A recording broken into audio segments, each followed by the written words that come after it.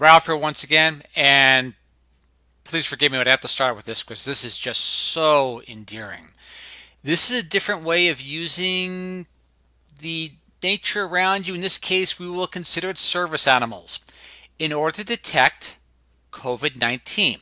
Now, this is a proof of concept study. Now, we're all familiar with the studies reference to dogs sniffing out cancer, determining uh, a person or determining, predicting when an individual may have a seizure or something along those lines ahead of time uh, through heightened awareness. Now, this just plays into that. The animals, or dogs, I should say, may be able to sniff out those who are showing symptomatic COVID 19 or disease known as a result of SARS CoV 2 in a very, very subtle, gentle way.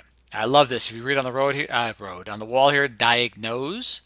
That's just a wonderful, wonderful play on words. All right, we're going to get into data analytics in a second. Let's look at the study first. Can the detection dog alert on COVID 19 positive persons by sniffing axillary sweat samples, proof of concept study. Looked at 177 individuals. The results were as follows The dog and the handler were both blinded to the COVID 19 positive sample location. Important. Now, keep in mind, it's also kind of cute. You imagine the setting that we're in, dealing with animals. Uh, there was some confounding, but they thought they could have a higher detection rate if horses weren't going by or people weren't making a lot of room and a noise in the next room. But keep that in mind, proceed. So this will be ready for future studies to go into more clinical setting. And what a wonderful, wonderful way of being able to detect disease in a very disarming way through a service animal per se. The success rate ranged from 76 to 100%. The confidence interval was there. These results provide some evidence that detection dogs may be able to discriminate between sweat samples from symptomatic COVID 19 individuals and those from asymptomatic COVID 19 individuals. However, due to limitations of the proof of concept study, including some COVID samples, uh, more than once, and confounding biases, these results may uh, be confirmed in validation studies. So instead of going to your place of employment or whatever it is, you have Max or Christy, the pet German Shepherd or whatever, and it's your corporate animal at the same time too. It's just making sure everyone's well. Beautiful, beautiful study. I hope it works out again without incorporating my own bias, but still really nice. Now to more serious articles as we proceed conflict of interest in reference to this British Medical Journal among UK government's COVID 19 advisors, which are not transparent. The reason is important because remember back in SARS CoV 1, the World Health Organization had a major corruption scandal declaring a pandemic when there wasn't a pandemic. Uh, and there was a mass amount of financial uh, conflict of interest that was not exposed. Well, we have the same thing occurring here, but this case in localized governments. And the read through uh, COG spokesman confirmed that SAGE members must declare the financial conflicts of interest and provided by the British Medical Journal a copy of the disclosure which the BMJ has made available to the public. But they declined to provide members to sign disclosures, adding they were looking at uh, options to make these declarations public while complying with relevant data protection legislation. The BMJ is now seeking financial disclosure, da da da. Citizens must be able to trust the advice of professional scientific advisors, we need transparency. Here is the problem. In many cases, the U.S. government lacked, UK government, apologize, lack of financial transparency in tackling COVID 19 has resulted in negative headlines. For example, the chief scientific advisor had stock in the company, which was obviously working on a vaccine deal, and so on and so forth down the line. I'll have a link for you to be able to follow that uh, research or disclosures from the British Medical Journal into the lack of financial disclosures in reference to mandating certain vaccine research or uh, vaccine contracts, which ties into our next COVID story, um, or I should say SARS-CoV-2. Uh, many of you may already be familiar from this article that was published in the Journal of American Medical Association and the nursing research experience in a COVID 19 vaccine trial. Now, keep in mind, this made it to the JAMA. But however, though, we're not aware of this person either in the placebo aspect or they're actually on the actual vaccine. So I want to predicate that first, but still just the same it's compelling because of some of the statements that were made. Obviously, the individual, uh, people don't, from the the RNA vaccine, a microRNA vaccine, it's not the first injection, it's the second injection where the problems seem to arise in actual vaccine administration. Again, with the trials, you don't know who's placebo, who's not. So that's the caveat. By the end of the day, da da da, we know of the symptoms. When I woke up at 5:30 a.m., quoting obviously, I felt hot, burning. I took my temperature and looked at the reading of 104.9 degrees Fahrenheit. Now, yeah, you could be thinking, well, if, and this is a big if, if this is the vaccine, that's a pretty massive side effect. A lot of the elderly, by the time they take the second shot, uh, are going to call certain elements into question. Right now, a lot of people have taken the first shot. The second shot is the issue. I called to report my reaction to the injection. Thankfully, my fever had gone down to 102. Uh, quote, the research nurse said, quote, a lot of people have reactions after the second injection. So we'll have links to this statement as well. It doesn't hold much weight from a data aspect if it was not knowing who is the placebo and who's the actual vaccine individual. But the fact is, it made it to the Journal of American Medical Association, so it has some validity of potential side effects in which to look out for. And that leads to the next question. There is not just one type of vaccine, and this is important for people to know. There are actually four types of vaccines being out there right now, being researched. So if you look at here, and this is from the Vaccine Alliance, what we're looking at here is whole virus, protein subunit, nucleic, and viral vector. Now, I'm not going to predicate or bias any individual per se. If you had to choose, if you were forced to take a vaccine, it was mandatory, you had to travel someplace, which one of these four would you choose? Now, to me personally, uh, if I was it was mandatory and I had no choice, I probably go on the side of the old school variolation type thing or whole virus. The microRNA may be very effective in the future. However, though, looking at potential conflicts of interests and basically certain reactions, I would probably err more on the side of caution due to the fact that, however, so far no DNA or RNA vaccines have been licensed for human use, and this is a first. Now, microRNA uh, vaccines are actually being researched very effectively in reference to cancer trials and you know certain things along those lines in fighting cancer and so on and so forth. So it doesn't mean it doesn't have a spot in the future. But right now, I I have my reservations. So chances are this will probably be the least expensive and the easiest to administer in mass scale. Uh, but for those few individuals which are watching this channel, keep in mind other vaccine types are coming out. And even though this may result in some viral shedding uh, using a whole virus, if it's dead inact- inactivated as opposed to live virus, uh, then it may hold the best promise of these four if forced to. Just to keep in mind. All right, now we're going to go into the data research as we proceed. And we are going to start off with correlations. Now, the data we're going to be pulling from is from the Health and Human Services. And so we're going to be first looking at the a new data element. We're looking at occupancy beds hospital wise. And so this is where the data is drawn. And also, before I proceed to, just keep in mind, this is the average hospital uh, occupancy rate. All right, so if you keep that in mind, that's what it is per year. Now, this is one way of looking at the data on a bar chart if I want to change a person's view or impression, I could take the exact same data and make it look like this. Even though this looks more dramatic, they are both the same numbers. For those not familiar with data analytics, data visualization is a very, very, very powerful propaganda tool.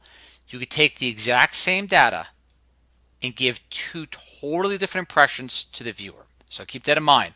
Try to always focus on the numbers as opposed to variations in line.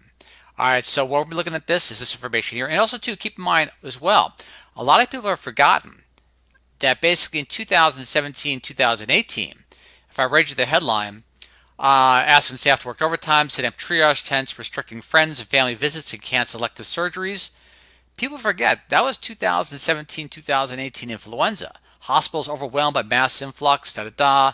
Face war zone of flu patients. This is, again, look at the dates 2018. So, again, this this is nothing new. Hospitals filling up is not something which is new to SARS CoV 2 or for those others, COVID 19. So this is not an uncommon headline.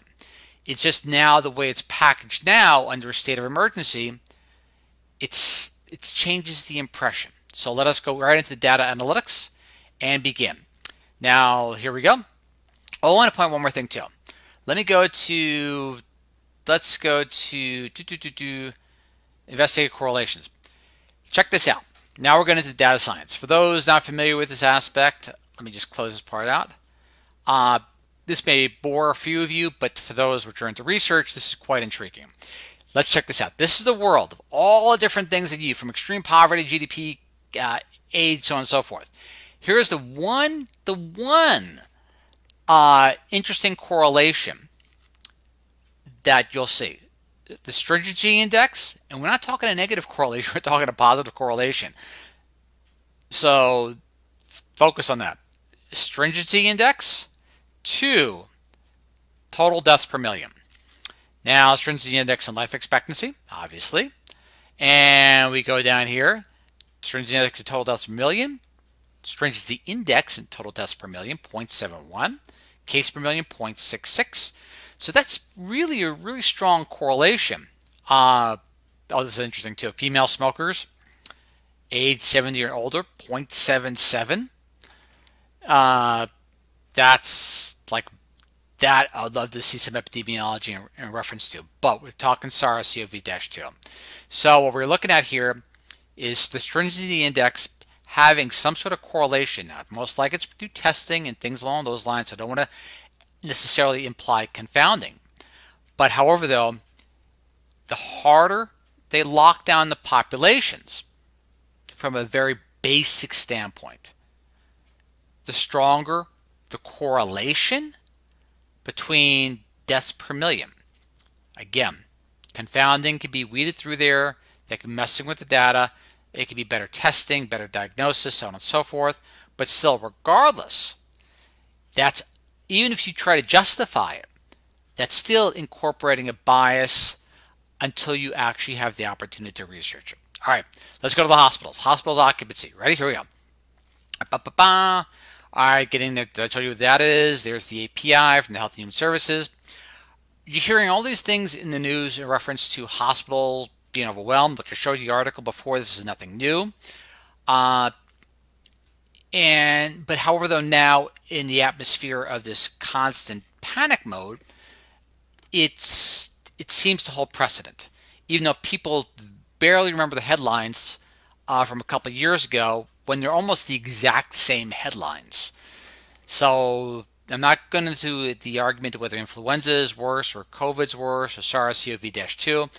I'm getting into the basically psychological aspect the behavioral modification, where we've experienced this before, but somehow back then we didn't remember it. Now we hear it on a daily basis.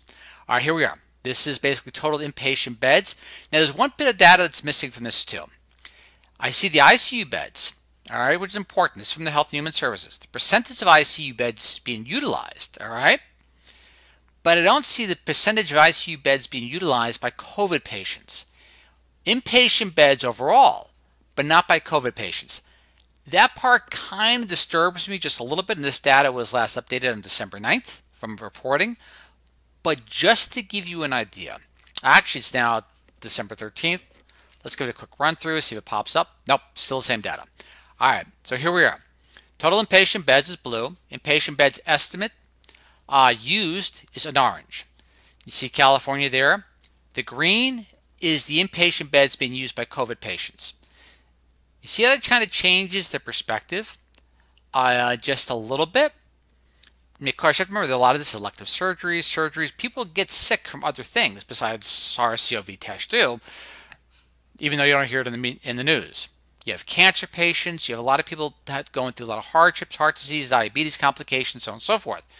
So not all the beds in the hospital are being filled by COVID patients, even though it's a very, very healthy, I mean, not healthy amount, that's a wrong way of putting it. Please forgive me. A very, very large amount. I was about to use the word respectable, and that's not a way of putting it either. But you see what I mean. Now look at this way here. Total ICU beds. ICU beds used estimate. All right, here we are. So this is, of course, the whole state, not looking at particular areas. Like, for example, Newsom has his state of emergency, lockdowns, da da da, uh, based upon, you know, ICU beds being used as a percentage per community. So that kind of skews it because, you know, let's say, for example, you're in San Luis Obispo County and Santa Barbara County is two miles away. You could just transfer a patient. Now, that's not obviously a, an equitable option in many cases, but still, you know, you got to look maybe at radiuses as opposed to county lines. That'd be a smarter way of doing it, but I don't expect that. So let's look at this way here. Uh, boom, boom, boom, down the line. Yeah, we're locking down counties. Think about that. We're locking down counties when in actually reality, I know it's more difficult, but you should be looking at uh, radiuses. You know, so so far and so forth. Alaska barely making the the uh, chart there, so on and so forth. The next chart. All right, now keep in mind when we looked at the data on on what the average hospital occupancy rate is for beds. All right, we're looking between 68 and 76 percent, and I'm being unfair here by marking it up to 76 or 76 percent. So this red line is the average amount at any one time of the year that the hospital occupancy rate for beds is. So again, this changes the perspective. And now you look at the news research article we looked at before, for example, and where you people going in triage tents and so on and so forth. I mean, with SARS-CoV-2, we don't even have that happening now. But still, not to say, you know, because something like that's not happening, that's not important. But here we are. And let's just let's just uh, for fairness, let's move this down to 68 and run that chart again. All right. So there you are. I was looking about above average. So we're going to say 68, for example. We'll, we'll, we'll, take everything from 1990 forward, even though the irony is there's actually less hospitals now than there was back then. So if you look at the data, it's actually kind of intriguing that we're actually reducing the number of hospitals, even though we have a higher elderly population and a higher population with comorbidities, we actually have less hospitals. But now keep in mind too, the ICU beds, in all fairness to those concerned, it's more than just the beds, it's the people that can actually watch those beds and help those individuals in ICU or those hospital beds themselves. So there could be a manpower shortage. Remember in the first part of the COVID, uh, actually now it's still going on, when they pulled kids out of school and had in-home learning, that actually hamstrung one third of the frontline healthcare force. So here we are again, we're pulling kids out of school back to online learning. But, you know, healthcare workers have children too they have to take care of. So that pulls people off the front line. So you have tons of available beds, just no one to man them. All right, and now we go back into the regular data analytics. I'll run the real fast. It's not really covering a lot of new stuff. So let's go to do do do do. Let's go to the world mask aspect right off the bat. All right, do, do, do, and I'm going to run to the real the top. Now, what we're doing here, for those not familiar, is we're trying to determine whether masks are making any difference correlation-wise in COVID-19. So I want to run through the data, and you can make your own rational judgment. Don't worry about that. Those not see this video for the first time, that's not the data we're looking at. Just think of it this way. It's kind of like me showing my homework. All right, we're looking at these columns, facial coverings, death per million, total deaths, so on and so forth. All right, and depending on the last data reporting time. All right, here we go. This is the data as of now. So here we are. Finland's at a 1. What this means is this. 0 means no mass policy. There's Sweden, Nicaragua, Palestine, Vanuatu, Vanuatu, Solomon Islands, so on and so forth. One is a recommended. All right, for example, here we are, and you see Japan as a one. People think often in a lot of the Asian countries that it's a four. Now, there may be cultural aspirations to wear a mask, but is it mandatory? Not necessarily. Russia is a two. Germany, Iceland, Chile, United Kingdom is a two. These are all twos. And let's go up to the fours here. Boom. Now, the reason being here is everyone's going to have an example of a country that has no mask policy and countries that have a four mask policy. And there are going to be positive and negatives. The trick is not to use those, those high numbers or low numbers to rationalize your judgment call. The objective is to see if mask wearing has any correlation with basically uh, COVID 19. I'm saying SARS-CoV 2 uh, rates or so on and so forth. So here we go, down the line. Let's look at it real fast. United States, mass level 4, deaths per million. All right. There we are. Now we're just going mass level 4, looking at cases per million. Now you tell me, does it have a relationship or not? Uh, United States, tests per thousand. This is the biggest relationship that probably in this chart, is the test per thousand, the case per million. Now Number two, I broke it up to test per thousand, case per million because Oxford University uh, utilizes their data analytics in such a way. And I didn't understand why in the beginning, but I understand why now because you could actually see a stronger correlation. Sweden, no mass policy, deaths per million. Their cases per million obviously have increased dramatically. Now, also keep in mind too, what is the strongest nutrient correlated with transmission if that nutrient level is low? Recall what that is? Vitamin D.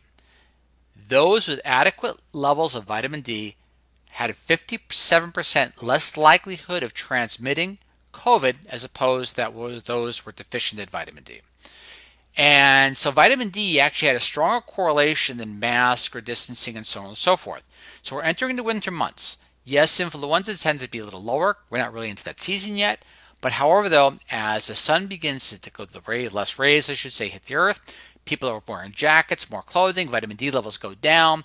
And of course, what's going to be happening if vitamin D is the strongest correlation in reference to infectivity or so on and so forth, then basically, or transmission, then guess what? Of course, you're going to have a strong correlation when the vitamin D levels are low, if those correlations hold, as opposed to masks. Mask levels, da da da. Mask levels in Colombia didn't seem to make a difference. Colombia, I remember I was picking random numbers there. Japan, again, a little lower there. Japan, Japan, I'm running through real fast. New Zealand, it looks like this. They just let's just throw on a mask and see what happens. And then they decided, nah, let's not. New Zealand, do do do. And that is cases per million. Again, this is a question to epidemiologists. That's how can that happen in certain countries? I mean, is transmission just cut off that much that fast? So here we go. But look at their testing. Their testing is different. Uh, they're doing less testing. You see what's happening there? As opposed to cases per million. All right, so Finland, there we are. They said, let's, if you want a mask, throw one on. Going up a little bit of the cases per million. And here we go, test per thousands, case per billion, and look at the correlation. Not a real strong correlation yet overall, but however, though, it's, it's getting up there in the number. India, again, you got to enforce it but it's a four. It's like the United States. The United States it's a it's a it's a mandatory mask. The um, the OWID data, our world in data displays, but however though you know many you know many states don't require it, and so you really can't say four overall. So there's some confounding there. For those not familiar with confounding, they're basically kind of like elements that can uh, affect your data uh, unknowingly, uh, per se, until discovered then it's either a bias or you're evil. So just to keep on going. Test per thousand, cases per million. Spain. There's the, the mask. Again, see if there's any correlation. That's the, again, it's the, the timing. Look at October, November, December.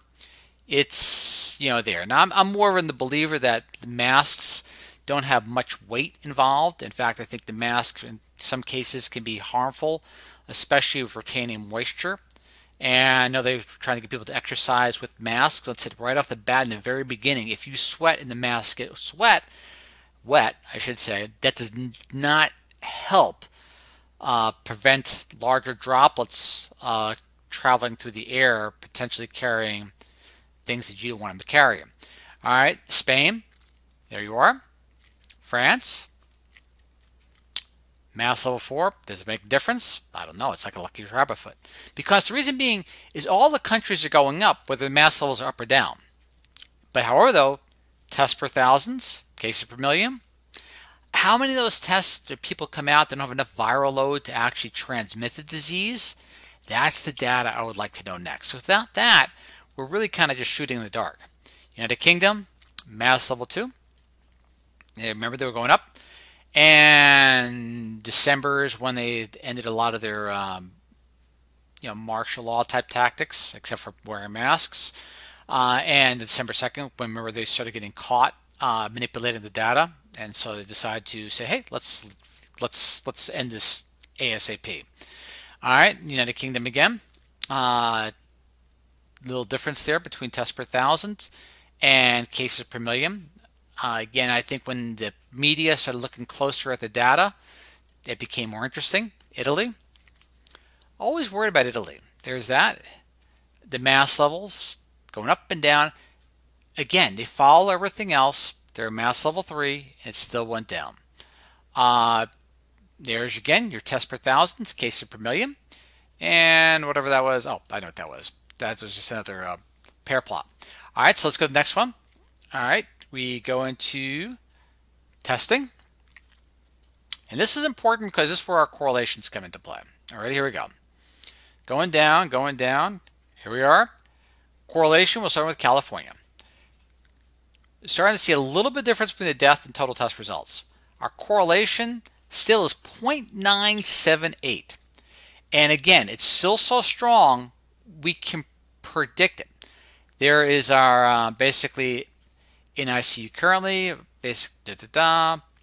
You see, it goes down and up. All right.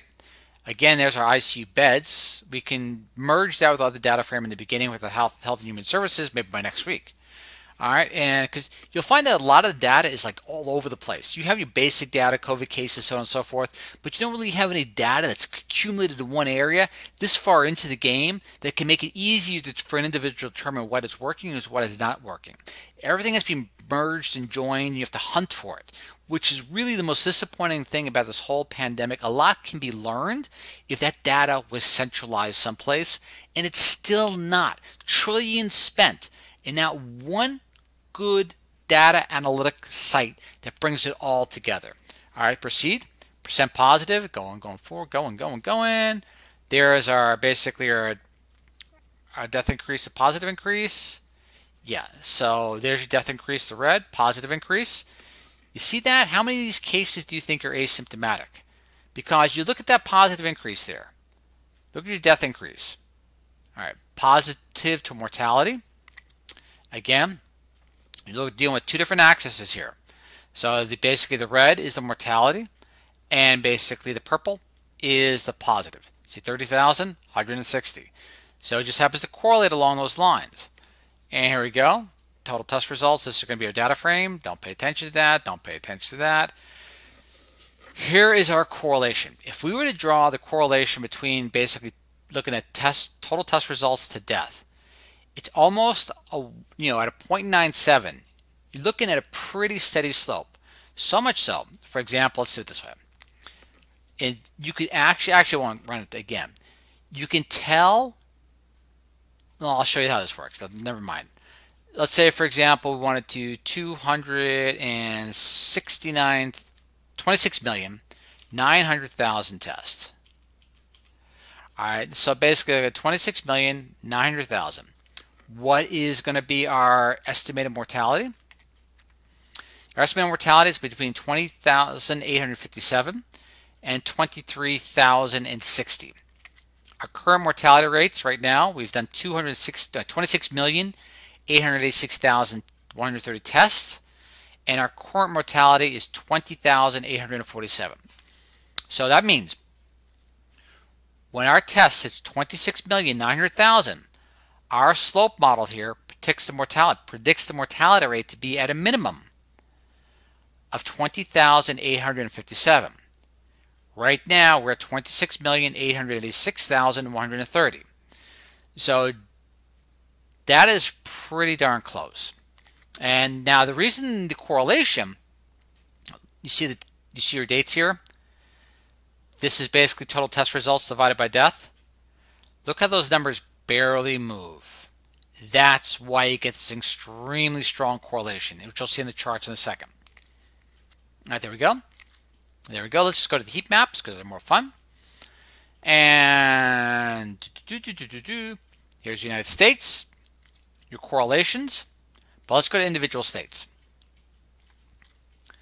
This is your correlation between total test results divided by death.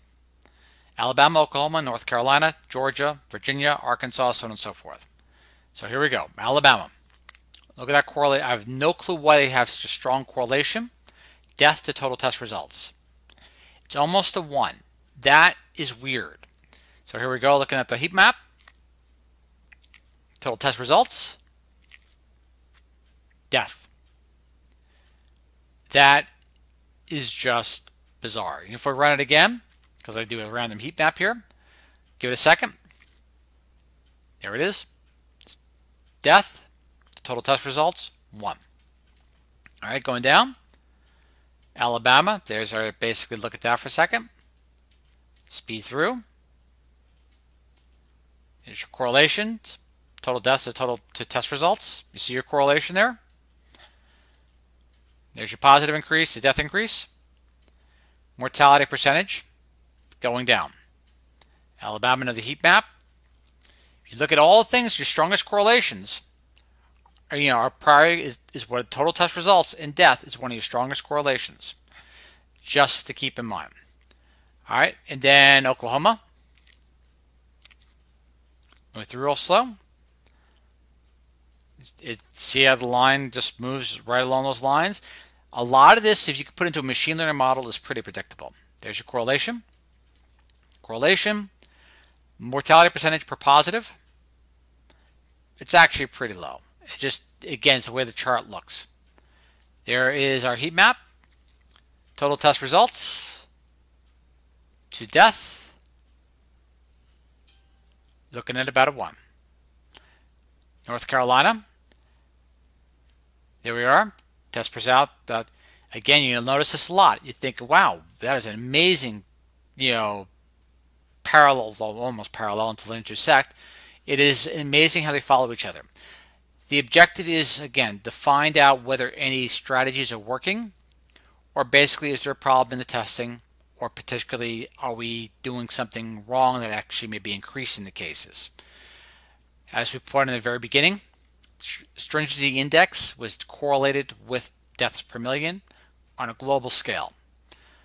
Again, there could be a lot of confounding involved in it, but however, though, it is now on their side to prove what they're doing is working as opposed to just saying, well, if we didn't do this, it would be worse. No, that argument doesn't hold anymore. That's what science is for. It's basically to take away superstition.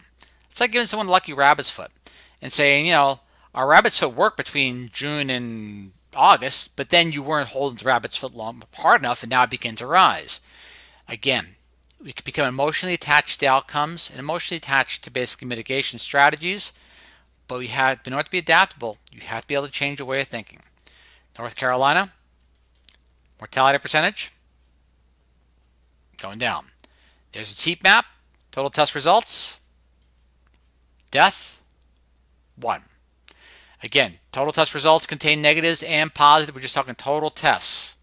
So it's odd that the negative and positives on the total test results will always end up with the correlation of one. I'm still waiting for a good explanation to that, potentially the confounding. We've been doing this now for, for a few weeks. Still waiting. California. Pause real fast. I apologize, moving kind of fast. Da da. Positive increase, the hospitalization increase. Look at that. Look at that. what is that? Uh, seriously, look at that. I know it's random, but look at that. All right, keep on proceeding. Correlation. Uh, positive increase to death increase. Mortality percentage. It's way down.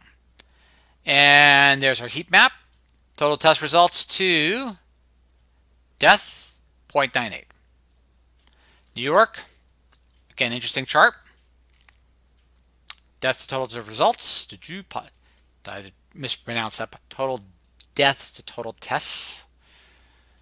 New York, positive increase to death increase. Mortality percentage. Regardless of the state, you have to look at that. Now, the weird part about it, deaths have actually been increasing per million. Uh, but however, though, the mortality risk overall has gone down quite dramatically. And we're going to check that in a second. New York, correlation, total test results to death, 0.96. Florida, which has very little uh, pandemic mitigation strategy in place right now, correlation. Uh, positive increase, death increase. Not like California. Interesting, isn't it? Where basically the lines almost mimicked, went right on top of each other. Mortality percentage per positive. Again, per positive. Think about that. That's so it's still decreasing. Almost here. Interesting. Again, look at this.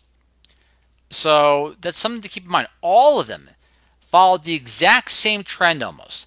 They all basically, the mortality percentage went up and then went down at the exact same time the cases increased.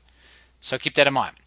There are basically total test results to death, 0.99. And who knows what that is, but I'll work on that later on. All right, let's go into the next one. Let's go to, we got to audit the world. All right, real fast. New cases smooth per million, new deaths smooth per million. Look at that jump in cases. Look at that jump. That is just incredible. But remember, we're talking the whole world. That's testing.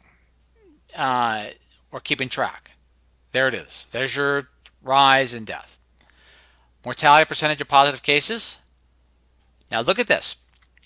Look at that drop. You see it right there, that one spot right there, but yet that at the same time correlates with that rise. You see what I mean? All right, let's go down, down, down, down. Great Britain was locked down. Japan, Sweden. Sweden has been having a little bit of a rise. You have to look at that too. But again, they're not doing any worse than countries which are doing everything. Again, the objective is not to bemoan and see which country is doing better or worse. The objective is to see if the pandemic mitigation strategies are having any impact. And there we are. If I told you Sweden was had mandatory masks, lockdown, quarantines, and so on and so forth, you know, you'd say, oh, that makes sense. But if I told you they were doing nothing and still doing, I'd say equally as well, uh, that's, again, for you to decide.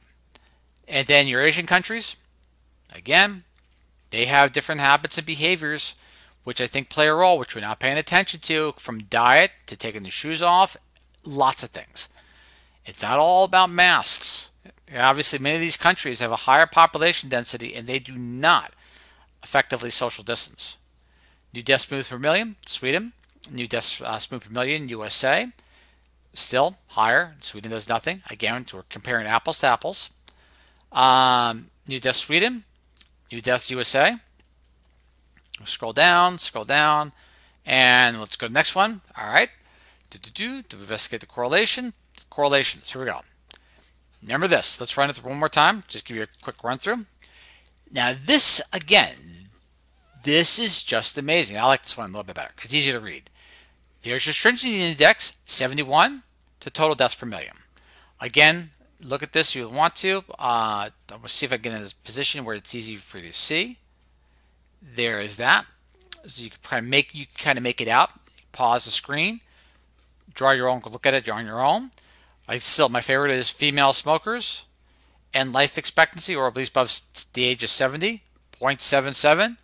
Again, interesting. What behaviors do female smokers have where they're above, where they're correlating above being older than age of 70? But to proceed. All right, and over data, data frame, overall mortality rates.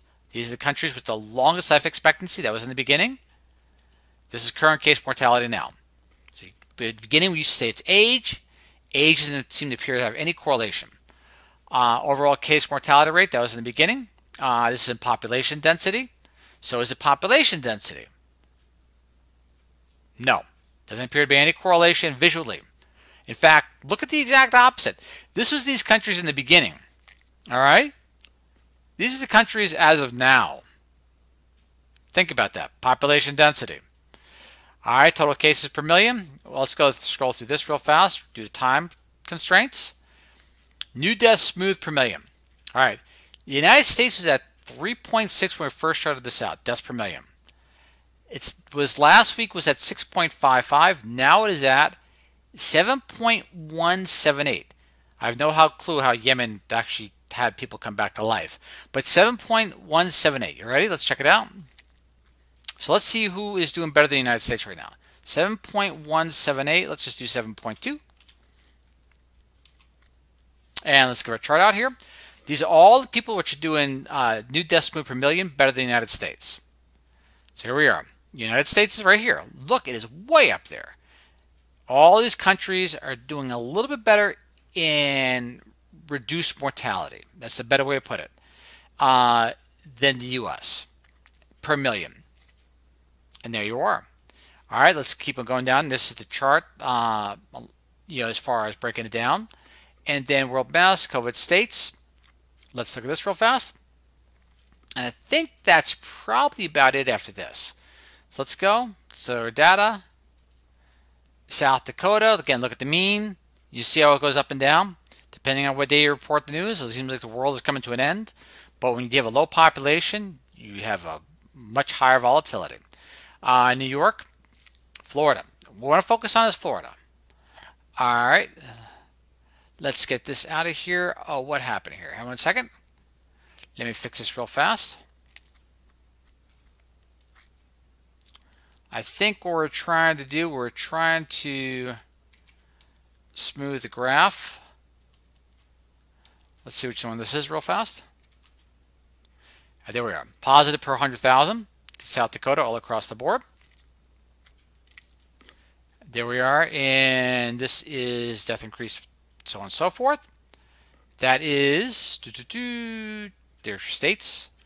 California, Florida, Georgia, New York, South Dakota. Again, focus on Florida because Florida ended its lockdowns. So we're using Florida as the control. Green, Georgia. Wow. All right. We go through locations. Looking at Florida, positive per 100,000. Florida's open. Again, we're using Florida as a control. Comparing it to California and New York, which have a very stringent lockdown. If you were a data analyst and you had to decide whether these lockdowns are working or not, what would be your conclusion based upon this? Deaths per 100,000? All right. And breaking down the graphs, charts right there. And these the states, obviously, with the highest uh, mortality rates, so on and so forth. And I think that is about it for today. I'm not doing the uh, Monte Carlo anymore because it's all across the board now. We looked at the world mass, we looked and investigated, we looked at the, the COVID data per se, and we looked at the COVID states. The main thing we really wanted to add is we wanted to add the hospital occupancy uh, historically to give a good indicator as far as where we really stand and remove any biases as opposed to is this the first time we've been here because obviously it looks like we've been there. We wanted to cover also the conflict of interest, recognizing a lot of people which are responsible for making decisions once again, the exact same errors we made during SARS-CoV-1, the conflicts of interest not being disclosed, which is kind of disturbing. Uh, the experience reference the reference to the vaccines. Uh, again, there could be confounding here, not knowing what part of the trial the individual is on or in, whether in the placebo or not. But however, though, it seems to be a very common occurrence having a high fever as well. The four different types of vaccines being researched so if someone felt a little off in the RNA, could they get a whole virus, protein subunit, or viral vector, as opposed to nucleic acid versions? Yes, that possibility may exist. And then I think that is about it. The poly responses, policy responses. I reference the face masks. That's it. It's a long night. I hope you guys all enjoy. And Ralph signing off. I look forward to seeing you all once again on Tuesday. Again, any ideas, whatever it comes down to, perfectly fine. But I really would be interested to know if you followed me this long, which vaccine, if you were forced, if you were forced to take a vaccine, which one of these four would you actually acquiesce to? Again, Ralph Giordano signing off. Gratitude. Thank you. Look forward to seeing you all next time. And if you need this information, I can put it on GitHub for you. Just let me know, and I will do it for you in a heartbeat. See y'all later on. Bye.